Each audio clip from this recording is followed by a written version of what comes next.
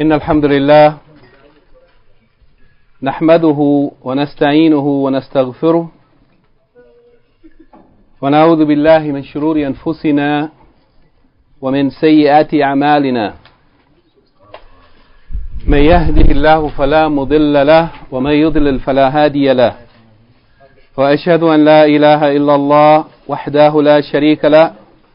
وأشهد أن محمدا عبده ورسوله. Verily the praise belongs to Allah. We praise Him, seek His assistance and forgiveness. And we seek refuge in Allah from the evil of ourselves and the evil consequences of our deeds. Whoever Allah guides, there is no one that can lead him astray, and whoever Allah leads astray, there is no one that can guide him. I bear witness that nothing deserves to be worshipped except Allah alone, and that He has no partners or associates, and I bear witness that Muhammad sallallahu alayhi wasallam is His servant and His messenger. This evening, bi'idhnillahi ta'ala, this is our 14th session, or 14th lecture, from the book Ta'zeem As-Salah by Sheikh Abdul Razak, the son of Sheikh Abdul Muhsin Al-Abad Al-Badr, Hafidhahum Allah, may Allah protect and preserve both of them. In this book, Ta'zeem As-Salat, it is dealing with the topic of yani acknowledging and recognizing the importance of salah in the life of a Muslim. And attaching importance to the salah and recognizing the need of exaltation and glorification of Allah Al-Azim through this tremendous great act of worship. Our topic tonight, as always, is a very important topic. A very important topic. Yani the ways in which one can make their salah a means to rest, a means of rest from the toil and hardships of the dunya. The means through which a person can make their salah the coolness of their eyes, yani a joy, a happiness, a rest for the soul and for the heart. And the Shaykh in this chapter he has actually summarized yani from one of the essays of Al-Imam Ibn Qayyim rahimahullah this topic bis salat yani the saying of the Prophet sallallahu alaihi wasallam to Bilal ya Bilal bis salat yani grant us rest or give us rest through the prayer. yani call the adhan and ikama, establish the salah so that we might find rest. Indeed, this is something that every one of us in, is in need of. And perhaps it is something that many of us are without. Yani our salat has not become the coolness of our eyes, yani the joy and satisfaction of our heart and our soul. Rather, for many of us, for many people, the salat is in fact a burden, a heavy weight that one is carrying, they can't wait to unload. Before we read from the chapter tonight, we'd like to quickly review what we discussed last week from the questionnaire study guide for lecture number 13, dealing with the prohibition of resembling animals, especially in the performance of salah. And we'll try to go as quickly as possible. The first question, memorize the ayah of Surah Al-Isra, 17th Surah, 70th ayah, which states that Allah subhanahu wa ta'ala has honored the children of Adam. نعم تفضل سورة الإسراء آية 70 ولقد كرمنا بني آدم وحملناهم في البر والبحر ورزقناهم من الطيبات وفضلناهم على كثير ممن خلقنا تفضيلا جزاك الله خير um, Who else memorized this ayah? نعم Who else? نعم Okay, somebody tell me, what is the meaning of this ayat? Allah subhanahu wa ta'ala is saying here, the meaning of which is? Indeed we have honored the children of Adam. Uh-huh. Indeed we have honored the children of Adam. Yani the human beings. Allah subhanahu wa ta'ala is saying has honored them. Now. We have carried them in, uh, on, the, on the seas. And Carried them on the land and on the sea. Yani made the means of traveling. Now, land and sea. And we provided them sustenance, provisions from tayyibat, from all kinds of good things. Naam. We have exalted them over many of our creation. We've exalted them. We've given them preference, superiority over many of those whom we have created. Naam, a clear marked preference, excellence, superiority over many, many of the other creatures. Now, this is a very important ayah, and it's something for us to reflect upon. That uh, indeed Allah subhanahu wa ta'ala has given preference, He has given excellence, He has honored and raised the status of the human beings over other many, many of that of the creatures that He has created. And this is something that a person should be yani very, very conscious of. Question number two, discuss the author's explanation of this honoring of the children of Adam. How has he explained this? Now, uh, who read the ayat? Just now. You did? Tayyib, give me the explanation. Way that the children of Adam have been honored over the other haywanat is that Allah subhanahu wa ta'ala has given them, has made, given them the to stand up straight, erect, on two to stand up walking erect on their two legs, on two feet. Naam. and to be able to use their hands to bring food to their mouth. And they use their hands to eat with. Uh huh. as opposed to the other hay- haywanat who walk on fours and they have to put their mouth to the ground to eat. As opposed to other hayawanat, other than the human being, other animals who walk on four. Just think about crawling around on your hands and feet. Even if you do that, you should think that this is the resemblance of animals. Allah has made us superior to that. We shouldn't be crawling around on our hands and feet without need or necessity. Now, and He has also made them to eat with their mouths. Yani to put their face down to the ground to eat, whereas the human being can pick up the food their hand and eat. Now, this is indeed honor. What else?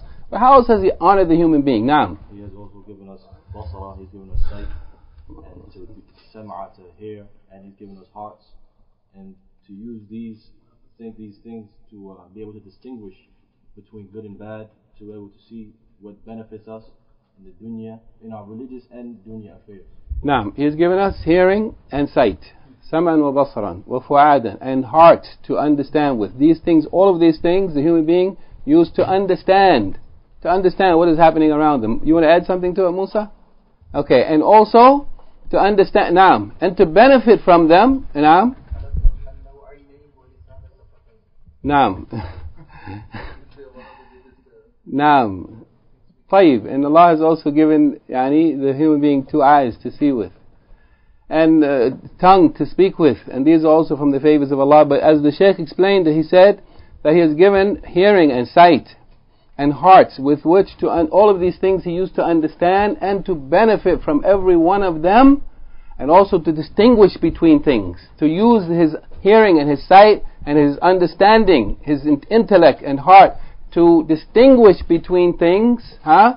And to know the benefits of those things and the special characteristics of each one of those things and the harms of those things in all of his affairs, the affairs of his dunya, yani the worldly affairs as well as his religious affairs. And this is indeed yani from amongst the many favors of Allah subhanahu wa ta'ala He's given to the human being, making them superior over the other created beings. Number three, what is expected of the believing servant of Allah in light of this favor of being honored above other animals? So what is expected from the human being? then in light of this great honor that Allah has given? I want to look somewhere else. Naam, huh? Show gratitude. Naam. What else? Naam, Musa. Now, to consider yourself above the animals and therefore to stay away from resembling them, from having the characteristics of them, from being, from imitating them. Now, Uh, to recognize and deem yourself greater than the other animals and not resemble them in any of their actions, especially in the salah. especially in the salah. If you consider yourself above the animals that Allah has, if you recognize this sharaf, this honor that Allah has given to you, then this should make you what? Condemn yourself, consider yourself to be above animals, and therefore not be described with the characteristics of animals, not to resemble the animals, especially in the performance of the salat, which is the ashraf ahwal al-abd, the most elevated, honorable condition, situation or state of the abd, of the worshipper of Allah subhanahu wa ta'ala, especially in the salat. Be careful in the salat that we don't yani, do things in imitation or in resemblance of these animals who Allah has raised us above. Question number four, how many animals did the author mention as being prohibited to resemble, especially in Salah, and mention them? How many animals did the Shaykh mention? He said five. Anybody have a different answer? Six. Anybody have a different answer? Nobody said seven? Five or six? Taib, name them. I'll say I'll say six, but maybe even seven. You could say if somebody says seven, we'll accept it if you can prove it. Now, what are they? Give me one. One. Anybody? One. Now, the fox. Okay, one of them is the fox. Now, the dog. Huh? A bird or crow or rooster. Now, camel. Camel. Ba'ir, camel. Now, horse. The yani resemble the the horses, the wild wild horses, in the way that they yani wave their tails. Now. Huh? Gurab, naam. The crow. Huh? And the, he mentioned donkey and and I don't really want to include that in the what he mentioned because he mentioned that resemblance from a hadith that's not sahih. From a hadith that's not sahih. And we try to make it clear that it's not sahih, okay? But in any case, now, it, it was mentioned in the discussion, now. And what you said, sab'u, now which means the beasts of prey, predatory animals, like lions and things like this. A cock. A cock. Okay, the deek, now. Now. طيب these are did we mention all of them طيب جيد uh, and we'll come back to this issue as we go along question number five mention six of these descriptions of the actions of animals which we are prohibited from resembling six of these descriptions one of them just give me one the first one now safe Pecking like the the pecking like a bird and he mentioned which bird did he mention the crow and he mentioned the deek he mentioned both of them. Pecking like a bird. Now. Yani now stretching stretching your arms on the ground, flat on the ground. When you are in what position? Sujood and sajda and prostration. Like what animal? Like a dog and another narration he said? The predatory animals. And the predatory animals. Now, that's two. Now, Rashid. sitting of a camel, The sitting of a camel. Yani what do we mean by the sitting of the camel? going down like a camel. Yani the kneeling down of the camel. Now, the buruk al-ba'iyya. Now. Uh, moving the hands like the tail of the horse Moving the hands. In what position in the prayer? when we're salaaming out. In the taslim, in the end of the salat. Mo- moving the hands at the time of making taslim like the tails of wild horses. Now, four. Now, Musa. Sitting like a dog. Now, how is that sitting like a dog? Yani sitting, yani when a person is in a sitting position, sitting on their backside with their, what do you call this? Uh, shin propped up, right? Their legs up, and their hands flat on the ground holding them up. Okay, this is prohibited. And this is not very common amongst us, alhamdulillah, but it is common amongst women in certain countries. We don't need to mention the countries because if you haven't seen it, it doesn't matter anyway. Just make sure we don't do it. But it is common though among some other any Muslims, some people. Now, what else? That's four or five. Now, Sitting like the, the camel that they don't move, that they stay in one place and don't move. not sitting like the camel, but taking control, claiming ownership of a place in the masjid that's well known. This is my place, and you don't pray in any other place other than in that, pra- in that place. Like a camel does when they go to rest, they go to the place where they rest. That place they claim. Nobody, they will not sleep except in that place. Now, Looking around like a fox. looking around like a fox, looking around like a fox, iltifat, al looking around like a fox. That means that when you're in prayer, especially when you're standing in prayer, that you're looking around, looking at the ceiling, the walls. Subhanallah, especially where there are all kind of posters and plaques and pictures and things written all over the walls and places to distract you. Now, did we leave out anything? I think we got them, inshallah. طيب, uh, Question number six. Memorize the hadith of Abdurrahman ibn Shibl radiallahu anhu entailing three descriptions of animals prohibited to resemble. Three descriptions of animals prohibited to dis- to resemble. One of you. One of you. تفضل. عن عبد عن عبد الرحمن بن شبل قال نهى رسول الله صلى الله عليه وسلم عن ثلاث عن نقرة كنقرة الديك نقرة الغراب كإكعاء كإكعاء كإكعاء That's the other hadith. That's the hadith of Abu Hurairah. Naam.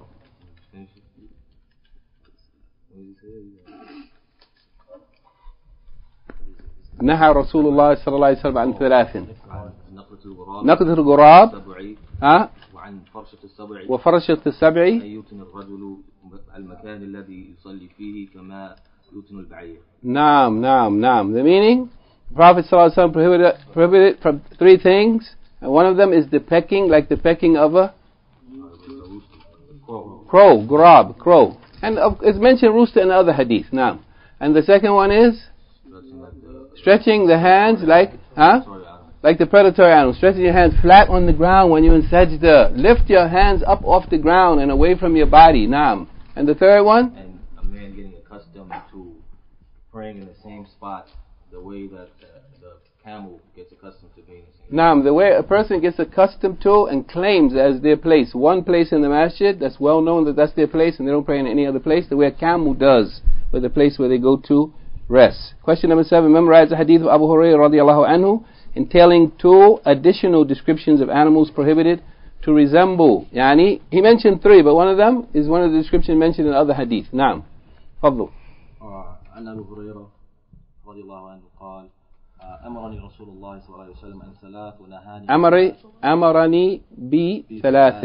نعم. نهاني عن ثلاث أمرني ب- بركعتي ضحى قبل آه، كل يوم والوتر قبل النوم وصيام ثلاثة ثلاثة أيام كل شهر من كل شهر. من كل شهر ونهاني عن نقرة كنقرة الديك نعم. وإكعاء كإكعاء الكلب كلب. والتفات كالتفات الثعلب جيد ما شاء الله طيب that the hadith of Abu Hurairah radiallahu anhu that the Prophet wasallam commanded me with three things and he prohibited me from three things that he commanded me with, what? Number one praying two rak'ah salatul duha in the morning. Yani the time of salatul duha is from after sunrise and before noon time before the time of dhuhr naam. And also Witr, performing the witr prayer, the odd number of rak'ah in the night after Isha, between Isha and Fajr, to perform it before sleeping. Yani, it's better to perform it at the end of the night, the last prayer before you yani, finish your night prayers. But if a person knows they're not going to get up, then pray it before you go to sleep so you don't miss it completely. And the third thing, uh, three days of fast, fasting three days, fasting three days from every month. And he prohibited me from the pecking of a bird, the pecking like the pecking of a bird, was sitting in the select and the sitting like the sitting of a dog, yani with the front, with the uh, shin propped up, sitting on the backside with the hands holding you. Naam. The glancing of and the glancing of like the glancing of a fox looking back and forth. Now, uh, the eighth question mention the action of the donkey, which a praying person much uh, must avoid, as mentioned in a daif hadith. In, as mentioned in a daif hadith. What is the action of the donkey? Naam. What is the action of the donkey? Naam, Khatib. lowering his head. Lowering his head. Naam, stretching his neck forth and lowering his head. Yani, and this should not be, this is something that we shouldn't do when we're in what position in prayer? In ruku. Yani, a person's back should be perpendicular to their body, so that your back is straight, neck and head is straight, not high up, nor lower than that straight position.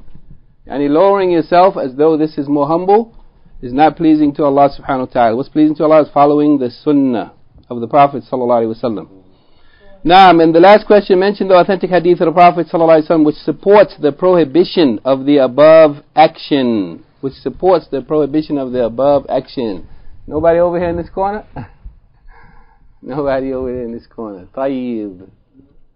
طيب, فضل. في صحيح مسلم أن النبي صلى الله عليه وسلم إذا رك إذا ركع لم يشخص رأسه ولم يصوبه Naam, meaning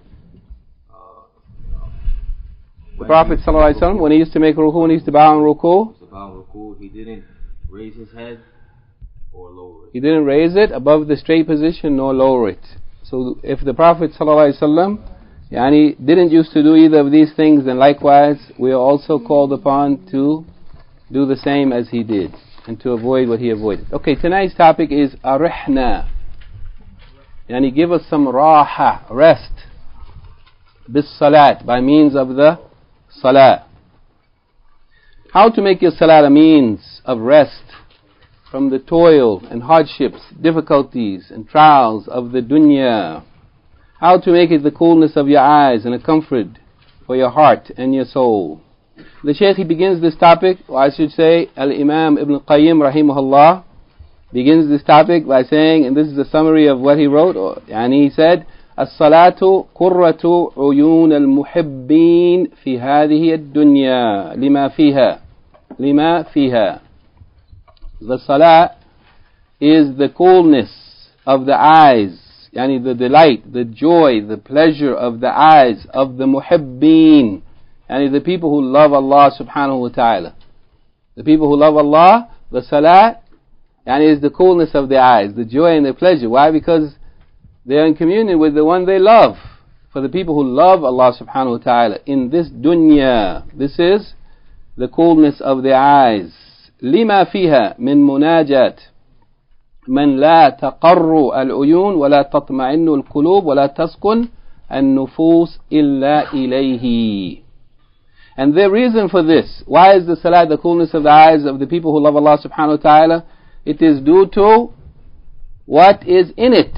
لما فيه من مناجات يعني of يعني intimate personal communion with the one who there's no يعني coldness of the eyes there's no joy and there's no tranquility of the hearts and there's no rest for the souls except in turning to him why is it the why is it the يعني the joy and the pleasure of the one who loves Allah, is, it is because He is the one whom there's no tranquility, there's no peace, there's no happiness, there's no rest, there's no satisfaction except with Him.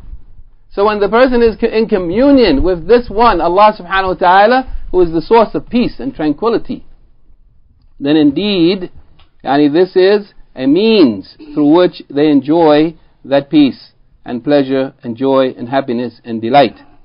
And likewise, due to that which is in it, لما فيها يعني التنعم بذكره والتذلل والخضوع له والقرب منه ولا سيما في حال السجود وتلك الحال أقرب ما يكون العبد من ربه فيها يعني and likewise due to what it contains of tana'um. يعني enjoyment. Enjoyment. in the remembrance of Allah. Enjoyment that comes by way of the dhikrullah. At-tana'am bi dhikrihi. Yani the one who loves Allah has enjoyment and pleasure and happiness by remembering Allah. ألا بذكر الله تطمئن القلوب Isn't it that the satisfaction of the heart, the peace, the tranquility of the heart is in the remembrance of Allah?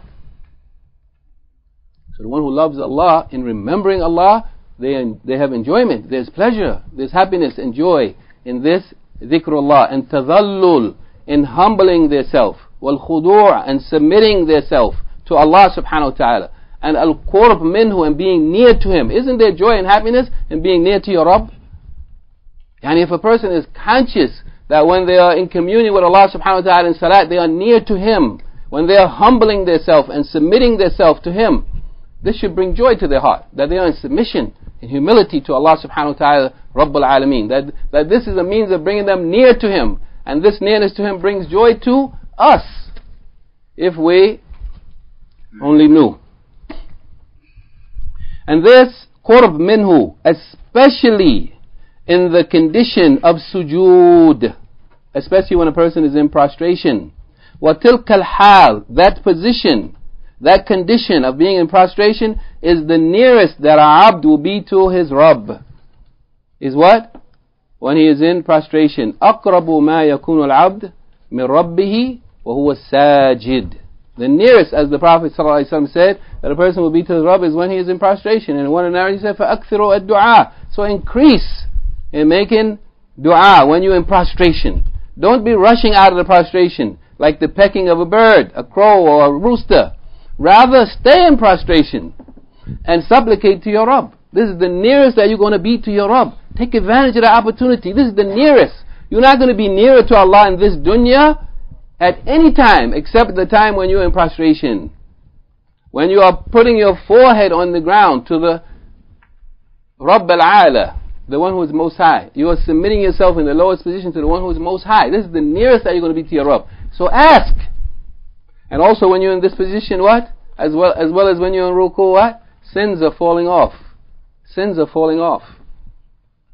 كل ما ركع أو سجد every time you bow or prostrate تساقطت عنه يعني الذنوب they're falling off your head and falling off your shoulders نعم this is the nearest that one will be to his Rabb وهذا ومن هذا قول النبي صلى الله عليه وسلم يا بلال أرحنا بالصلاة and from this meaning is the saying of the Prophet صلى الله عليه وسلم or with the same meaning is the saying of the Prophet ﷺ. Yani that which makes clear this meaning is the saying of the Prophet ﷺ, Ya Bilal, O Bilal.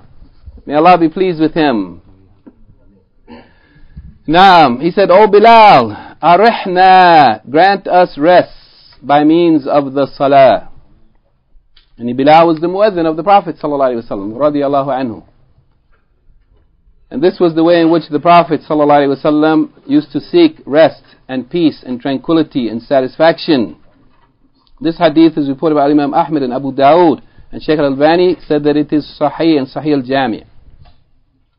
So the Prophet ﷺ has made known by this statement, the likes of this statement, that his rest is in Salah. Just as he has informed us أن قرة عينه فيها that the coolness of his eyes is in the salat in the hadith in which the Prophet ﷺ said حبب إلي من الدنيا الطيب والنساء and in some of the narrations النساء والطيب يعني that يعني women and sweet smelling ether يعني fragrance has been made beloved to me وجعلت قرة عيني في الصلاة but the coolness of my eyes Yani, joy and satisfaction has been made in the salah. So if a person enjoys some lawful things of the dunya, like people like itr, yani, the oils, sweet smelling oils, it's good. It's no wrong, there's nothing wrong with that. But what is better than that? The real joy and real everlasting, yani permanent happiness that never ends is not in itr or food or your spouse, or your children, or the material things of this world, but it is in the worship of Allah subhanahu wa ta'ala. It is never cut off if you are worshipping Allah subhanahu wa ta'ala. The joy, the happiness, and the satisfaction is permanent in this dunya for the one who's worshipping Allah. The Shaykh he says after this, فالمحب راحته وقرة عينه في الصلاة so the one who loves Allah subhanahu wa ta'ala, his rest and the coolness of his eyes, the comfort, the satisfaction, the joy of his soul and his heart is in salah. As far as the ghafil, والغافل المعرض ليس له نصيب من ذلك. But the one who's unmindful, who turns away from the salah by either not performing it, or not performing it on time, or not performing it properly and well, or not having concentration and khushu and reflection and contemplation in their prayer, and even though they are praying, they will be like the one who's not praying. They won't get this. They won't have any portion of this joy and satisfaction and comfort and peace and rest that the other one gets. Rather, the salat for this person, the ghafil, the mu'rid, the one who is unmindful, inattentive, turning away, the salat for this person is a difficulty and a hardship upon them. Whenever he stands in the salat, it is as though he is upon embers, live, hot coals. حتى يتخلص منها until he escapes from it. And when he's in salah, it's like a person who's standing or laying on hot coals. They can't wait to get off it. That's how people are in salah. May Allah save us from such a condition. At any time, abadan. وَحَبُّ الصَّلَاةِ إِلَيْهِ أَعْجَلُهَا وَأَسْرَعُهَا And the most beloved salat to this one, the unmindful, inattentive, the one who doesn't care, the most beloved salat to this one is the one that is, yani, performed hastily and speedily, quickly يعني as quick as possible get it over with فإنه ليس له قرة عين فيها because he doesn't have any joy or happiness or satisfaction in the salat so he just wants to get it over with and there's not any rest in it for his heart his heart is not at rest with this salat والعبد إذا قرت عينه بشيء استراح قلبه به and this is a this is a rule that we can take this as a rule that the worshipper the servant of Allah subhanahu wa ta'ala when his yani when he is delighted with something yani when he is delighted with something something that he is pleased with then his heart will find rest in it. If you are pleased with something it will be a means of rest for your heart. So if you are pleased with the salah it will be a means of rest for your heart فأشق ما عليه مفارقته but the most and in that case yani if you love something it is a means of pleasure and joy and rest for your heart then the most difficult thing for you is to separate from it yani if you love this salat the difficult thing for you is to have to get out of it yani you don't want it to end you don't want it to end as the companions of the Prophet ﷺ, anhum, they were praying with the Prophet ﷺ in in the night prayer. And he prayed for half of the night or a third of the night. And then one night he prayed almost until they thought that we are going to miss our suhoor. Yani almost up until Fajr. And the Prophet stopped and some of them said, Yani if you had only continued, Yani keep going, don't stop. Yani after praying the whole night, they said, if only you had continued. Yani you should have kept on going. We wanted more. We we're not saying, what kind of prayer is this? When is this going to end? They were saying, if only you had continued. Now, because whatever is in the world that the person wants to get to is not as important or as valuable or as yani uh, pleasurable than what they are already in. So what are you going to? Are you going to something that's more pleasurable than communion with your Rabb? Are you going to something that's more valuable than communion with your Rabb? That's more important to you than the way, what are you running to? What are we racing to? Why are we speeding through this thing? As though we are in a hurry to get out of it. والمتكلف والفارغ القلب من الله والدار الآخرة المبتلى بمحبة الدنيا أشك ما عليه الصلاة وأقره ما إليه طولها ما تفرغه وصحته وعدم اشتغاله But as for the one who prays reluctantly, yani unwillingly. So maybe they are forced by someone, by their parents or their wife or somebody else, I don't know, who's making them go to the masjid to pray. Or maybe they're forced by the society and the people around them. They, they don't want to be seen as somebody who's a fasik. So they don't want to go, but they go anyway, like the hypocrites. They go unwillingly. This one, whose heart is empty Yani who Allah is not in their heart. They don't have consciousness or love for Allah in their heart or desire for the Darul Akhirah. This one who is tested, who has been tried with love of the dunya, the most difficult thing for him is the prayer. Most difficult thing for him the prayer. The most hated thing to him is the length of the prayer. When the prayer is lengthened, in spite of the fact that he doesn't have anything to do in spite of the fact that he has good health, in spite of the fact that he's not busy with anything. Huh? Not like the person who's sick, he can't stand for a long time. Or the person who has some business to get back to quickly. They don't have anything. They're free. And yet, they hate that the prayer be lengthened. وَمِمَّا يَنْبَغِي أَنْ يُعْلَمْ and, and this is the heart of the topic tonight. And after this introduction, الإمام ابن القيم رحمه الله says ومما ينبغي أن يعلم أن الصلاة التي تقر بها العين ويستريح بها القلب هي التي تجمع ستة مشاهد يعني and from that which is befitting that it be known is that the salat which is the coolness of the eye and rest of the heart it is the salat in which there are six matters collected in it, gathered together in it. Six matters, mashahid.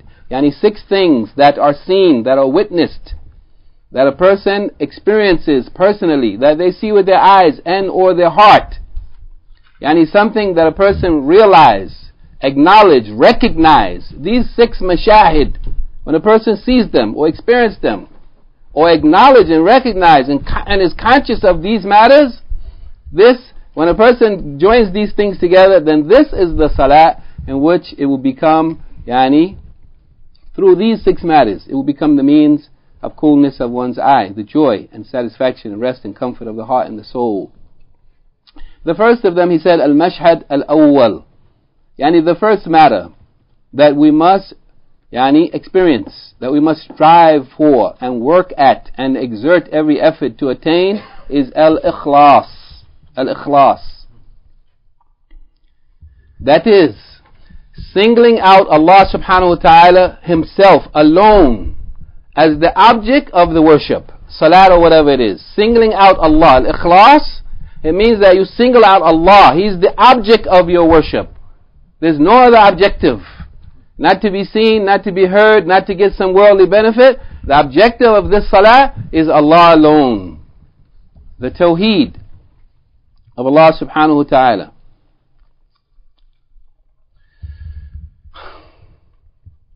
The Shaykh says, الإخلاص وهو أن يكون الحامل عليها والداعي إليها رغبة العبد في الله ومحبته له يعني this ikhlas he said it is that the hamil alayhi the thing that يعني urges you or pushes you or carries you to make the salat the thing that the da'i ilayha that calls you to the salat is the raghba the desire of the worshipper the desire for Allah subhanahu wa ta'ala يعني to to, to enjoy the blessing and favor and communion with Allah subhanahu wa ta'ala. This raghba, person has a desire to be in communion with Allah subhanahu wa ta'ala. وَمَحَبَّتَهُ لَهُ And also, the thing that causes the person to pray, that calls the person to pray is the desire to be with Allah and also the love that that person has for Allah. This is a hamil or a da'i. This calls you to worship Allah. It should be this reason. Your desire to be with Allah, to be in communion with Allah, and your love for Allah. وَطَلَبَ مَرْضَاتِهِ وَالْقُرْبِ مِنْهُ And seeking, seeking also, seeking the pleasure, seeking His pleasure, the pleasure of Allah subhanahu wa ta'ala, and seeking nearness to Him. And seeking nearness to Him. Yani what is the thing that prompts you, that calls you to this worship? It is your desire to be with Allah and your love of Allah and you're seeking, you are doing it seeking the pleasure of Allah. You are performing this prayer seeking nearness to Allah. وَالتَّوَضُّدْ إِلَيْهِ وَامْتِثَالْ أَمْرِهِ And also, your desire to gain His love. You are praying in order to gain the love of Allah and in compliance with His command. Why are you praying? In compliance with the command of Allah and hoping to gain His love and seeking to be near to Him due to your love of Him and your desire to be in communion with Him. Such that لا يكون الباعث له عليها حظا من حظوظ الدنيا البتة. And this is, يعني, the other side of the ikhlas is that the thing that prompts you, that moves you to this prayer should not be any, يعني, hav, any portion of the things of the dunya at all. No thing from the things of the dunya. Not any kind of physical, worldly benefit, material benefit, yani recognition, acknowledgement, reputation, whatever, to be seen by people, it shouldn't be any of this at all. Re- Ikhlas requires this, that the thing that, yani that the reason why you are doing the salat is for the love of Allah, in compliance with the command of Allah, to be near to Allah, to earn the love of Allah. This is the reason why you do it, not for anything of the world at all. Nothing of the world at all. Rather, بل يأتي بها ابتغاء وجه ربه العالى. Rather, he comes and performs this salah seeking the face of his Rabb the Most High. Seeking the face of his Rabb the Most High. Naam. محبة له out of love for him وخوفا من عذابه out of fear of his punishment ورجاء لمغفرته وثوابه and in hope of receiving his forgiveness and his reward Yani what is it that moves the person to perform the salah? It should be that the person is doing it ابتغاء وجه ربه العالى seeking the face of his Rabb, the Most High, out of love for him and fear of his punishment and hope for his forgiveness and his reward. Out of love of Allah.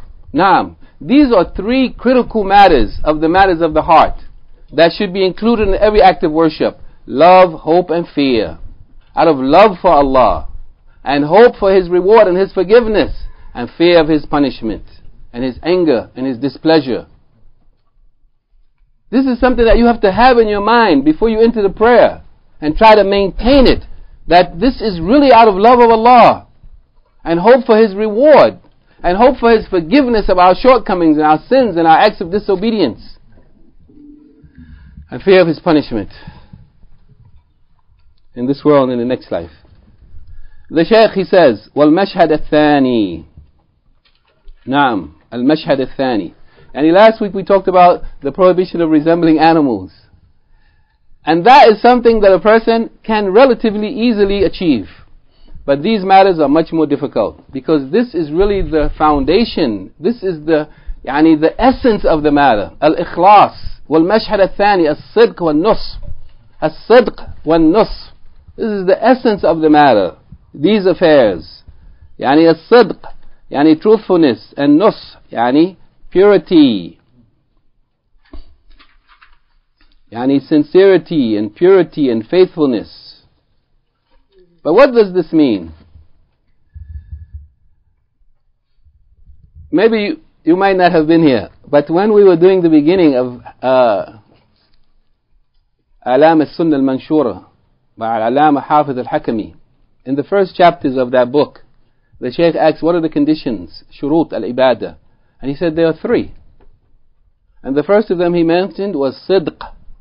Sidq al azima. And then he said Ikhlas and al mutaba'ah. Sidq al azima is what the Shaykh is talking about here. But he mentioned a different wording. He said Sidq al azima, which makes it clear to us what we are talking about. Yani truthfulness and sincerity in your determination Your resolve to do what it is that you are claiming you are doing.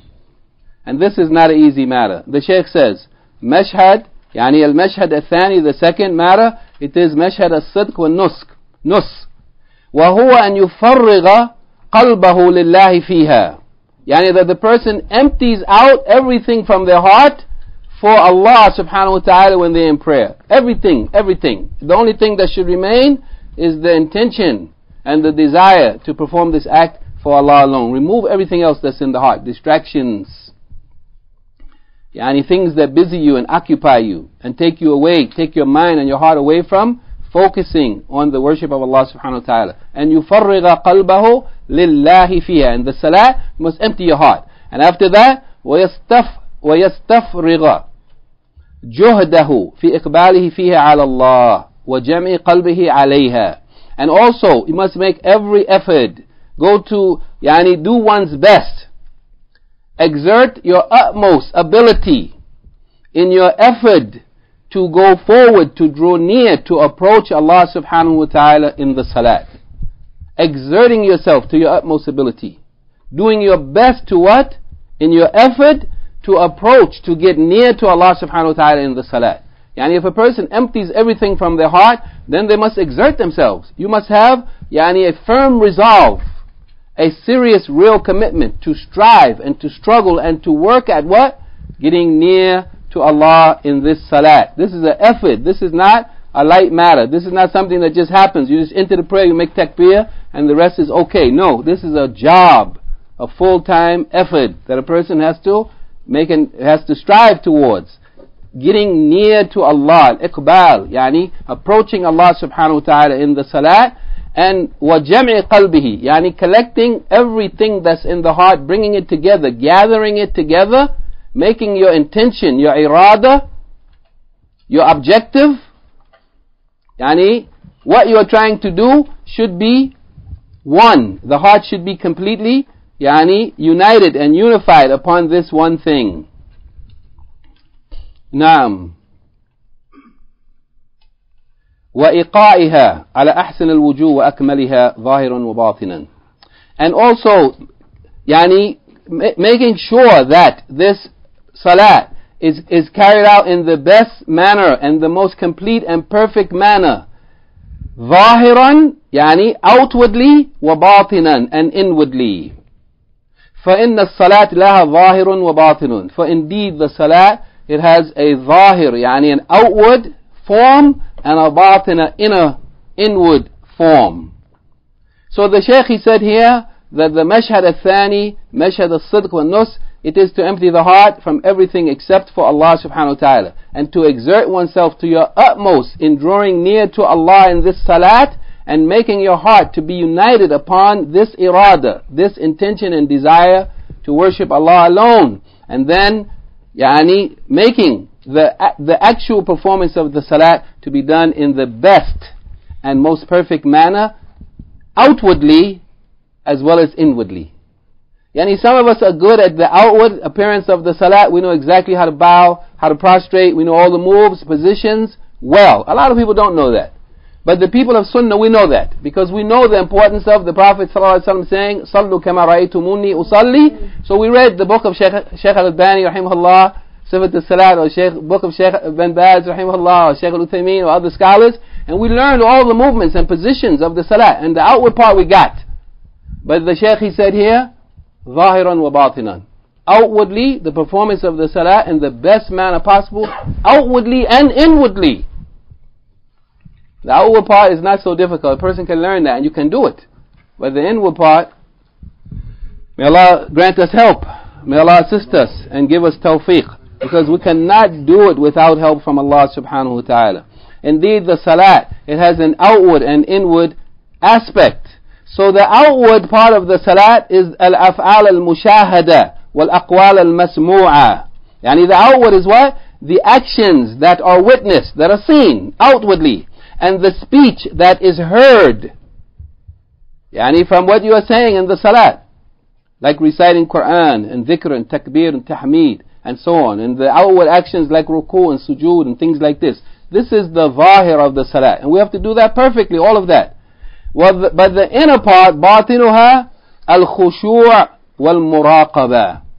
Al-khushu' wal-muraqabah. The inward part is what? Performing the prayer with khushu' and muraqabah. Yani, khushu' being in a state of submission, humble submission and awe of Allah subhanahu wa ta'ala, being conscious, fully conscious and aware that you're standing in front of the Rabb al-Alameen. And al-muraqabah, al-muraqabah, yani that you are watching, you are looking, you are aware, you are conscious of Allah subhanahu wa ta'ala.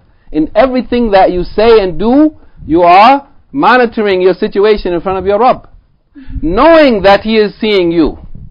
Knowing that He is seeing you. And you are fully conscious that Allah subhanahu wa ta'ala is as-sami' al-basir. He is the one who is al-alim. He knows even the secrets of the heart. And that which is yani, done in public and in private. So this is the inner part, having khushu' and having consciousness of Allah subhanahu wa ta'ala that He is watching you and being aware of Allah, being concerned about Allah, asking yourself, is this the way I should be saying this? Is this the way I should be? Is this the way my hands should be moving? Should my hands be placed like this? Should they be raised like this? Or am I just negligently performing the prayer recklessly without any concern or care? Which is the way that many of the people pray. May Allah save us from that.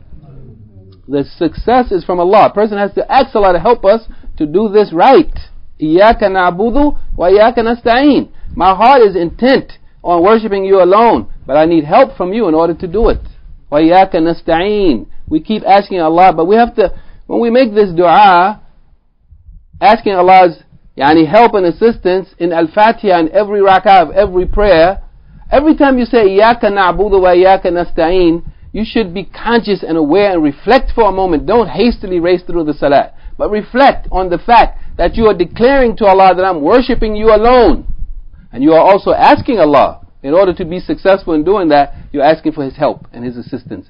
Because you, you know for a fact you cannot be successful in doing it without isti'ana, without, I mean, al-aun, help, the help from Allah subhanahu wa ta'ala. So the person, yani, has to be aware of this. He said the inner part is al-khushu' al-muraqaba وتفريغ القلب لله والإقبال بكليته على الله فيها and that the person empties their heart for Allah subhanahu wa ta'ala and they turn towards Allah with their whole self in the salat yani completely wholly your whole self submission and surrender to Allah subhanahu wa ta'ala completely such that the heart yani doesn't turn from Allah to other than Him at any time in the salat. Yani their attention and focus is on Allah subhanahu wa ta'ala completely. And this, yani this inner part of the salat, the khushu' and the muraqabah and emptying the heart and going forward to Allah completely and wholly, this is in the station, بِمَنْزِلَةِ الرُّوحِ لَهَا. It is like the soul or the spirit of the salat, the inner part of the salat. And the actions that you do in the prayer are in the station or position of the body, the badan of the salat. So the salat has what? It has a body. That body is your outward actions and speech. And it has a soul, a spirit, that is the essence of the salat, and that's the inner part of the salat, that is the khushu and the muraqabah, and this making an, an effort to empty the heart and to give yourself fully over to Allah subhanahu wa ta'ala. So this, uh, he said, the part, it is the station, it is in the position of the soul or the spirit, and the actions are in the position of the body. So if the salat is free, is empty, is void of the ruh, the soul or the spirit, if it is empty of this inner part of the salat, then it is like a body that doesn't have a soul. A dead body. And then Al-Imam Al-Qayyim rahimahullah says, he asks a question, huh? This is the question for me. And it's also for you. But for me, it's for me. And then if you want it, you can have it for you.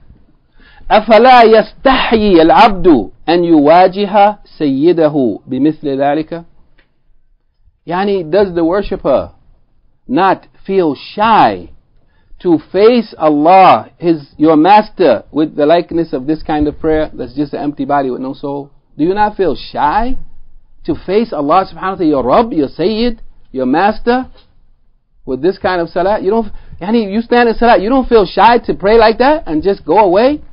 You don't feel shy from that? A'udhu billah, subhanallah. La hawla wa la quwwata illa billah. This thought alone should be sufficient motivation for me and hopefully for every one of us. That when we stand in prayer, we know that we are standing in front of Allah. How can we offer this kind of prayer to Him? Is that what He is deserving of? No way. For this reason, this prayer will be rolled up, folded up.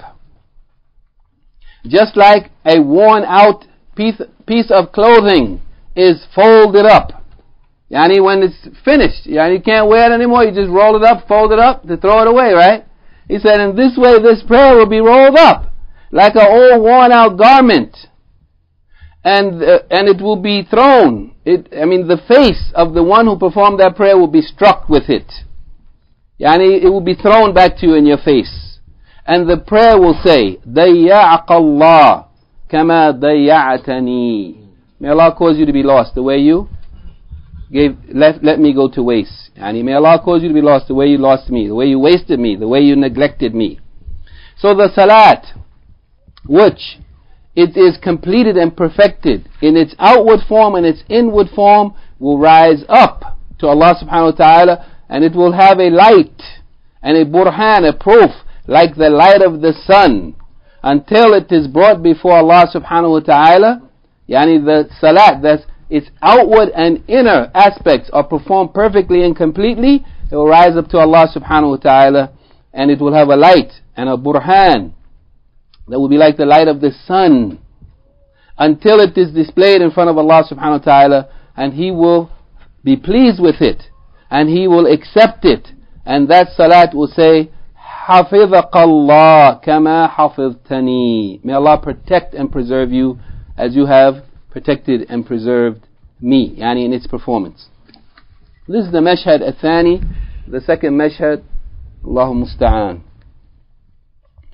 Uh, and then the Shaykh said at Mashhad al-Thalith, Mashhad al-Mutaba'a wal-Iqtida. The third yani matter is the matter of following, yani conformity with the Sunnah and emulating the Prophet wasallam, taking him as a model and an example, yani strictly adhering to the Sunnah and taking the Prophet wasallam as our example. And this is that the person should exercise every amount of eagerness, yani be diligent in what? In al-iqtida, yani in, in taking the Prophet as your model in your salat. Yani taking the Prophet as your model to be followed in your salat. The Prophet ﷺ. And then you should pray as he has prayed sallallahu alaihi wasallam. And you should turn away from whatever the people have invented, newly invented things in the salah. Whether it is something that they have added to it, or something that they have taken from it, or practices, or customs, especially people coming from Muslim countries, practices and customs that have not been conveyed or transmitted from the Messenger of Allah sallallahu alaihi wasallam. Yani that none of it has come from the Prophet sallallahu alaihi wasallam, nor has it come from anyone of his companions radiallahu anhum ajma'in. And he's strictly following the sunnah, taking the Prophet as your model and rejecting everything besides it. Al-Mashhad al-Rabia, the fourth matter, is al-ihsan. And Allah subhanahu wa ta'ala said in the Quran, هل جزاء الإحسان إلا الإحسان? Yani is there any reward for ihsan, for excellence, perfection? Yani itqan, doing something well, proficiently. Is there any reward for ihsan? and that's the linguistic meaning of ihsan, itqan. Is there any reward for ihsan? For goodness, righteousness, perfection, in worshipping Allah subhanahu wa ta'ala and in kindness to the people, the creatures of Allah subhanahu wa ta'ala? Is there any reward for ihsan except the reward will be yani goodness, excellence. Al-ihsan is the fourth matter, and it is mashhad al-muraqabah. Yani it is the mashhad of al-muraqabah. Yani that a person watch, observe, yani be conscious of fear of Allah subhanahu wa ta'ala and everything that they say and they do. وهو أن يعبد الله كأنه يراه and it is that a person worships Allah as though they are seeing him yani you worship Allah as though you are seeing him and this came from the hadith of Jibril in which he mentions yani in which it is mentioned that he asked the Prophet ﷺ inform me about Islam and Iman and Ihsan and Ihsan he said أن تعبد الله كأنك تراه فإن لم تكن تراه فإنه يراك that is, ihsan is that you worship Allah as though you see Him. Yani that you see Him by your heart. You see Him by your heart. You see Allah subhanahu wa ta'ala working in your life, guiding you, protecting you, yani enriching you, saving you, and in the creation around you. You see this. So you know that Allah subhanahu wa ta'ala sees you, and that He hears you, and that He has power over everything, and He does whatever He wills. The person who has this consciousness, then they should worship Allah as though they are seeing Him. And that's the highest level. فَإِن لَمْ تَكُنْ But if you do not, if you cannot reach that level where you worship Him as though you are seeing Him, if you are not seeing Him, then know that He is seeing you. And this is the second level, as Imam Muhammad ibn Salih Uthaymeen said, these are two levels of ihsan. Yani that a person worship Allah as they are seeing Him, that's the highest level. But if you can't reach that level, then the next level is to at least be aware that Allah is seeing you. You not, your heart is not strong enough. Your level of taqwa and iman is not high enough to, uh, to, to, be, to see Allah in your life in front of you all the time, then know for sure Allah is seeing you. That's a fact. There's no doubt for the believer that Allah is seeing you. At least have that consciousness, that level of ihsan. You know Allah is watching you. Allah is seeing you. Allah is hearing you. Then how does that make you act? This is the fourth mashhad. Yani that a person in salat and in everything that they do, be conscious of Allah subhanahu wa ta'ala in front of you. That Allah is watching over you. And if you can't reach that level, yani the highest level, then take the next level. Have some consciousness, muraqabatullah, be aware of Allah subhanahu wa ta'ala in everything that you say and you do. This, if this matter, this mashhad, he said, it it originates or evolves or results from kamal al-iman billahi wa asma'ihi wa sifati. Yani this ihsan, this level of ihsan, it comes as a result of what? The completion and the perfection of iman in Allah and iman in His names, His beautiful names, and iman in His sifat, His qualities and characteristics. Yani the person whose iman is complete and perfect, believing in Allah and His names and His sifat, knowing them and understanding them and acknowledging them and living with them, it will take him then to the extent that it will be as though he is seeing Allah subhanahu wa ta'ala. This is ihsan. Yani as though he is seeing Allah above his heavens, yani above his throne, speaking with his commands and his prohibitions. Yani you are witnessing Allah giving commands and prohibitions. يدبر الأمر يعني taking control, regulating the affairs of the creation and his command descending from him and rising up to him. You are witnessing this. And the deeds of the people are being brought to Allah and the souls of the people, yani when the person dies, is being brought to Allah.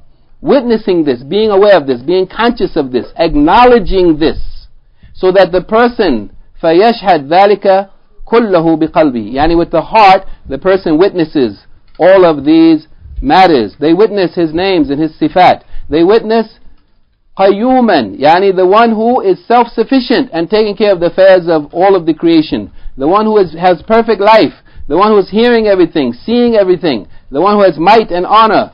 The one who is a judge and a ruler. Yani the one who commands and prohibits, whose command is final, whose prohibition is final. The one who loves. Yani Allah subhanahu wa ta'ala, witnessing this, being conscious and aware of this, this is part of ihsan, that a person is conscious and aware that Allah loves, and the people who believe and do good deeds. He loves good things. And Allah hates the disbelievers and the mushriks and the disobedient. And Allah is pleased with some, and Allah is angry with some, and Allah does whatever He wills, and He rules however He wills.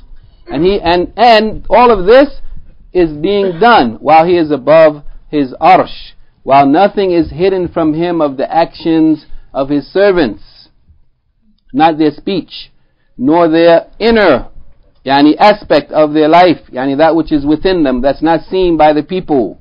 Rather, Allah knows the treachery of the eyes, yani the sneaky look that a person does, yani un, uh, to not be seen. And Allah knows what is hidden in the chest.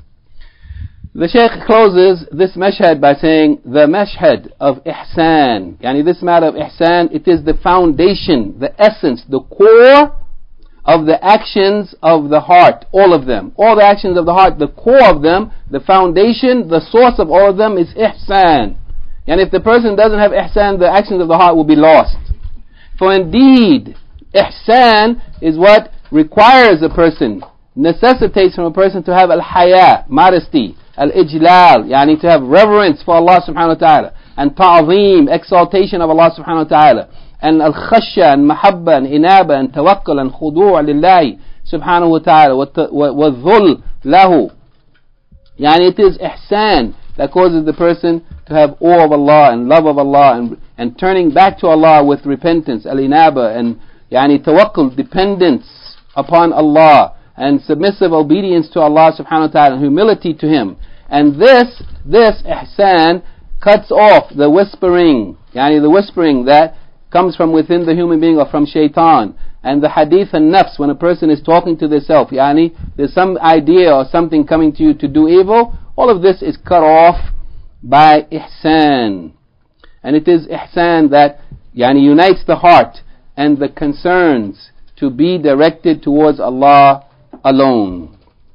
So the portion of the servant of nearness to Allah is in accordance with the amount of his, yani the, his portion of this station of ihsan. Yani a person's nearness to Allah will be in accordance with the degree to which he has completed and perfected al-ihsan. And in accordance with this, there will be the superiority of the salat, one above another. Yani in accordance with ihsan, one person's salat will, yani, tatafawat, yani will be, will rise above and yani go up, will be superior to another person's salat to the extent that there will be between the salat of two men. Yani al-faddal, yani some excellence or superiority like the difference between the heavens and the earth. Yani two men will pray and one of them, their prayer will be superior to the other one like the distance between the heavens and the earth. Even though their standing is the same. And their bowing is the same and their prostration is the same. Meaning both of them are standing up straight, and both of them are bowing, and both of them are prostrating. But because of what? The ihsan, the level of ihsan in the salat, the, their, their prayers will be different. This shows the importance of ihsan, and the Shaykh he says, Wallahu musta'an, al-mashhad al-khamis. The fifth matter, it is mashhad al-minna.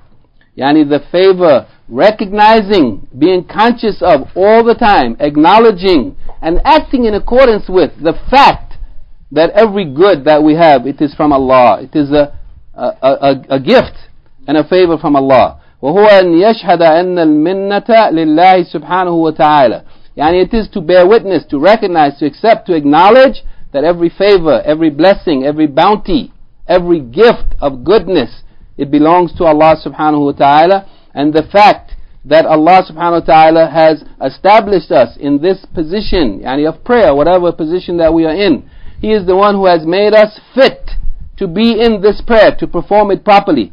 He is the one who has given us the success. The success what? So that our heart and our body will, will be in the service of us. Yani our heart and our body will be in service of us to serve us in performing this prayer, whatever of good that we are doing. فَلَوْلَا اللَّهِ سُبْحَانَهُ لَمْ يَكُنْ شَيْءٌ مِنْ ذَلِكَ If it wasn't for Allah subhanahu wa ta'ala, none of this would exist. None of what we are doing would exist.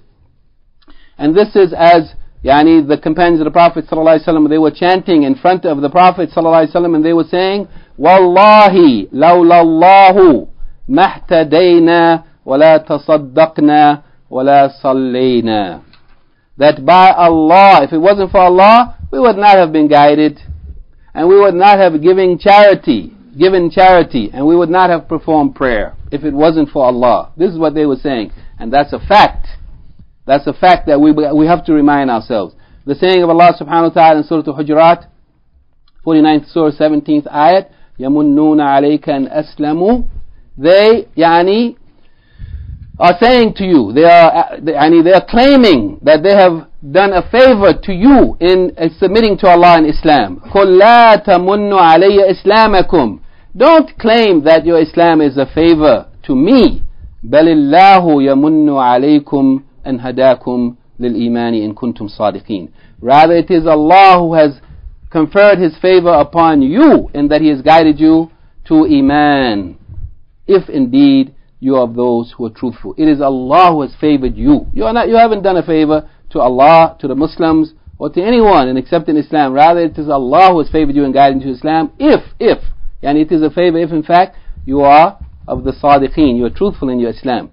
And Allah subhanahu wa ta'ala, He is the one who has made the Muslim a Muslim. And He has made the one who is praying a praying person. It is Allah who has made this person, who has enabled the person to do this. And this is as Al-Khalil Ibrahim alayhi salam, he said in the Surah Al-Baqarah, second surah, 128th ayat, saying, يرحمك الله ربنا وجعلنا مسلمين لك ومن ذريتنا أمة مسلمة لك and he is saying, Oh Allah, O our Rabb, make the two of us Muslims, yani in submission to you, and make from our offspring a Muslim nation, yani a nation of people in submission to you. Yani it is Allah who enables the person to be a Muslim. This is a favor from Allah subhanahu wa ta'ala. And also the saying in Surah Ibrahim, again, Surah uh, of Ibrahim alayhi salam, Surah Ibrahim, uh, 14th Surah, 40th ayat.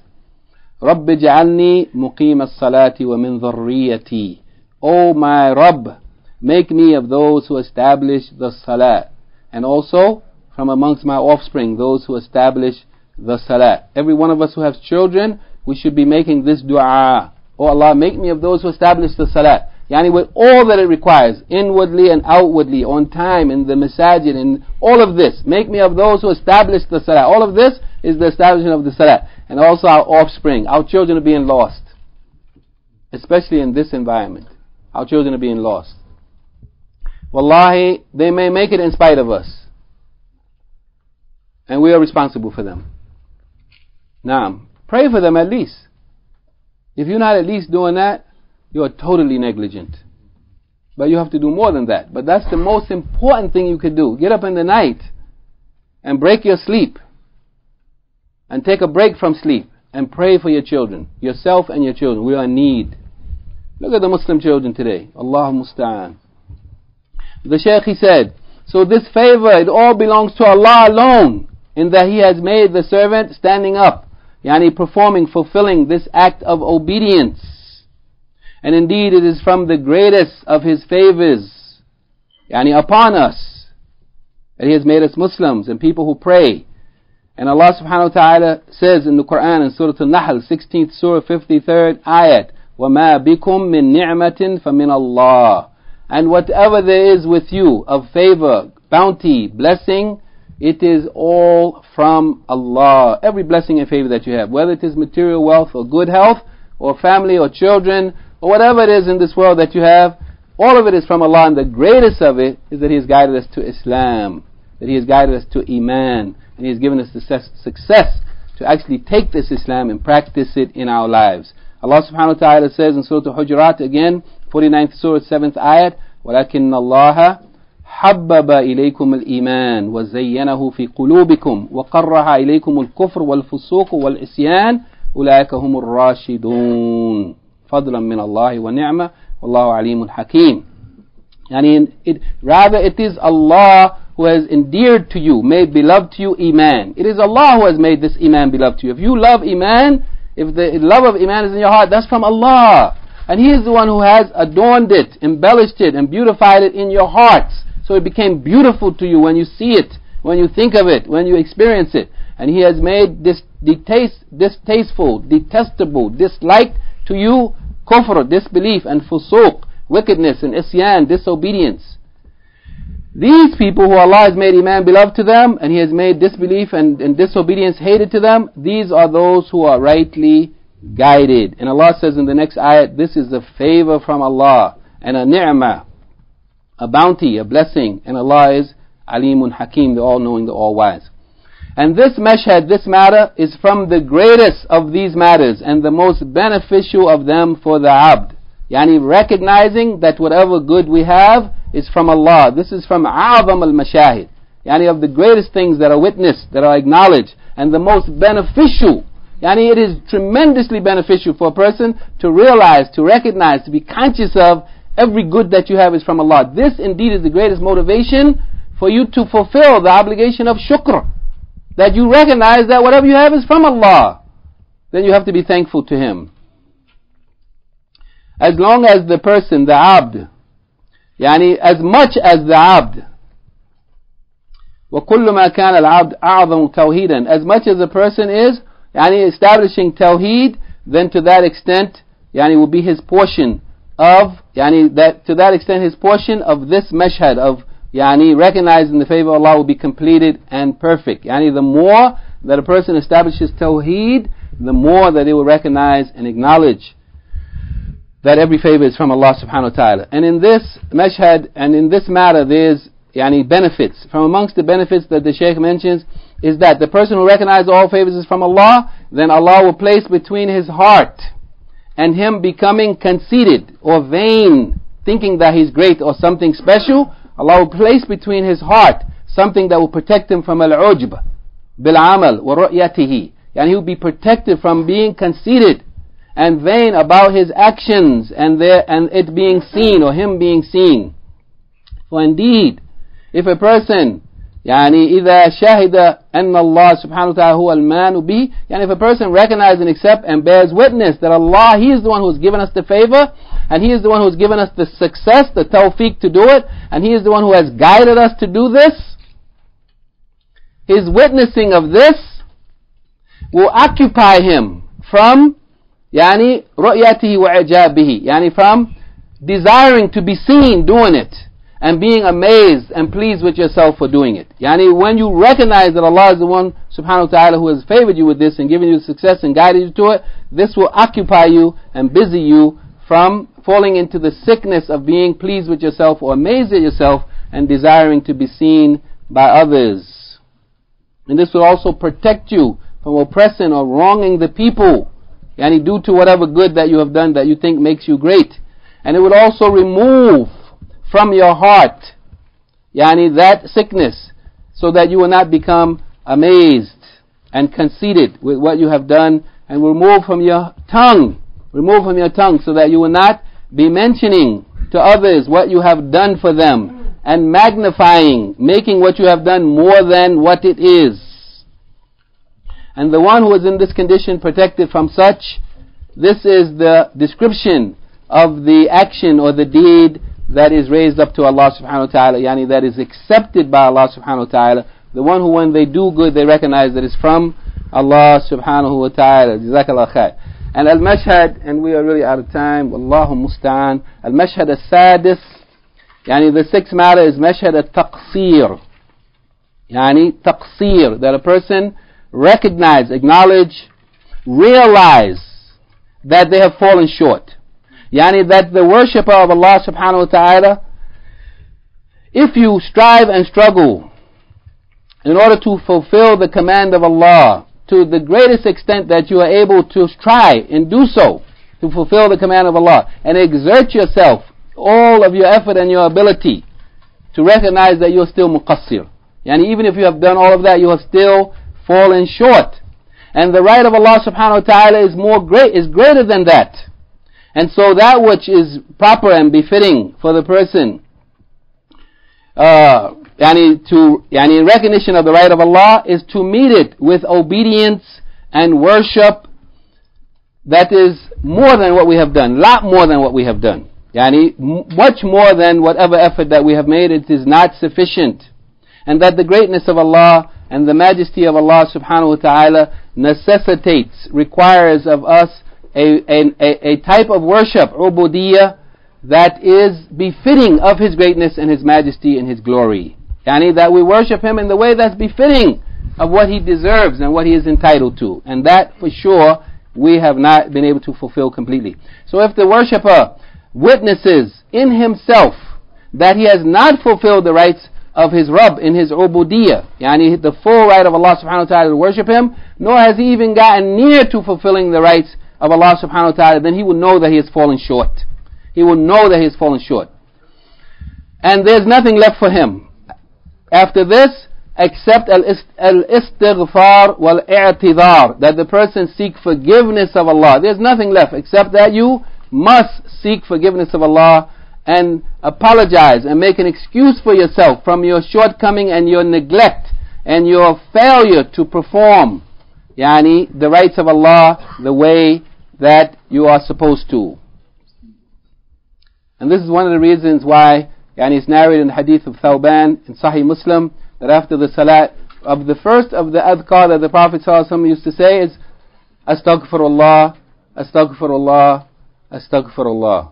Recognizing that the completion of this act of salat is far short from what Allah is deserving of, therefore we should seek Allah's forgiveness. Acknowledge and recognize your shortcoming and seek His forgiveness. And the Shaykh closes by saying, وَمِلَاكُ هَذَا شَأْنْ أَرْبَعُ أُمُورٍ And that which is the foundation that collects all of this together and enables a person to implement these six matters, there are four matters that are necessary to enable the person to implement them. The first of them quickly is niyyah sahiha, that a person has a correct niyyah.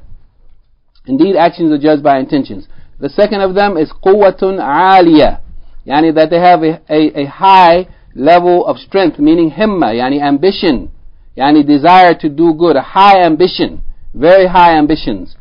Correct intention, high ambitions, and these should be joined by wa rahbatun, yani a, a desire to serve Allah and a fear of falling short of Allah subhanahu wa ta'ala's right. So these four matters, they are the qawaid, the foundations of this whole affair. Whenever a person, yani whatever happens to a, an abd of, of naqs, yani having some defect in his iman or in his condition, outwardly or inwardly, this is from the defect in, in these four affairs or in some of them. Yani any defect that one has in their iman or in their condition outwardly or inwardly, it is due to a defect in these four affairs or in some of them. So let the labib, the one who has intellect that one benefits from, an intellect that benefits you, that a person use the intellect, let that one reflect on these four matters and make them your way of traveling, your behavior, your manner of, your, of life. Make it your, the way that you move. Yani, that with these four matters always in the front of your mind, correct intention, high ambition, desiring Allah and fearing, fearing, falling short. Let these matters be your lifestyle, your mode of behavior, and build upon them your knowledge and your actions and your speech and every situation or circumstance or condition that you are in. Indeed, the one who is successful is only successful, is not successful, successful except because of these four matters.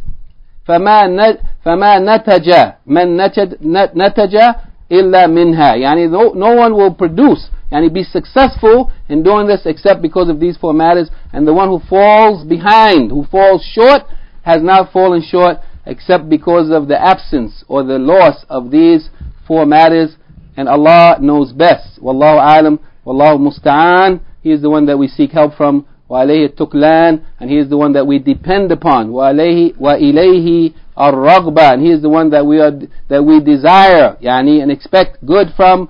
وَهُوَ الْمَسْعُولِ And He is the one that we ask بأن يوفقنا وسائر إخواننا من أهل السنة لتحقيقها علما وعملا And indeed, He is the one that we ask to grant us success and the rest of our brothers from Ahl Sunnah in realizing and achieving this matter ilman wa amalan yani having this knowledge and then acting upon it innahu waliyu dhalika wal manu bihi wa huwa hasbuna wa ni'mal wakil indeed he is the one that we turn our affairs over to and he is the one who gives us every favor and bounty and blessing and he is sufficient for us and he is the best one to take charge of our affairs subhanakallahumma وبحمدك أشهد أن لا إله إلا أنت استغفرك وأتوب إليك